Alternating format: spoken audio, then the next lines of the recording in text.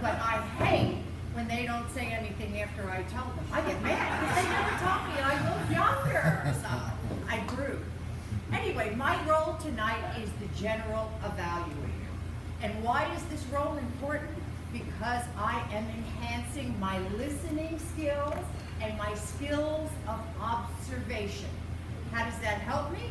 It helps me become a better facilitator and it helps me practice um, giving feedback in a public forum. So tonight I'm concentrating on five areas of the meeting.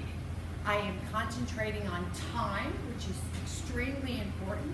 I am concentrating on enthusiasm.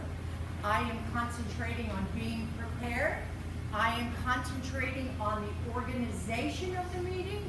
And then I am concentrating on the performances. So with that, I will